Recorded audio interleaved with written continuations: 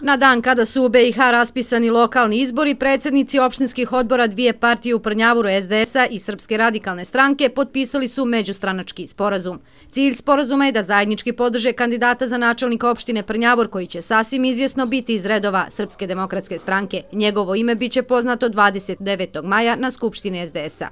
Srpska radikalna stranka i Srpska demokratska stranka su stranke koje imaju jasan program I iz tog njihovog programa, kao logična posljedica, proizilazi i potpisivanje ovog sporazuma.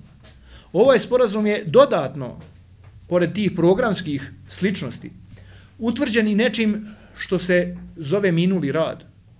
U proteklom periodu mi smo bili zajedno, u proteklom periodu smo napravili niz projekata koji su od dobrobiti za opštinu Prnjavor, I u Srpskoj radikalnoj stranci kažu da im je čast što prvi potpisuju sporazum sa SDS-om. U obe stranke dosadašnju saradnju ocjenjuju korektnom i bratskom, ističu političko jedinstvo i očekuju pobjedu na lokalnim izborima.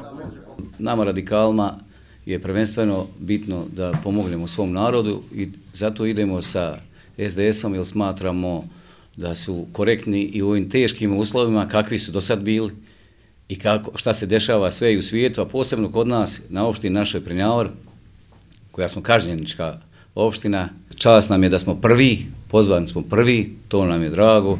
Znači da je naša saradnja bila lijepa, korektna i nadam se da će biti još bolja. U SDS-u ističu da je ovim dvijema strankama, osim sličnih programskih ciljeva, zajednički rad u proteklom periodu. Kao zajednički uspjeh ističu završetak projekta Povelić, dva izgrađena vrtića, dvije škole, osnovnu Branko Ćopić i muzičku, spomenik za pale borce u gradu, asfaltiranje pet ulica, prve metre asfalta u Gornjim Bijačanima, uređenje kruga Doma zdravlja, proširenje dnevnog centra Neven.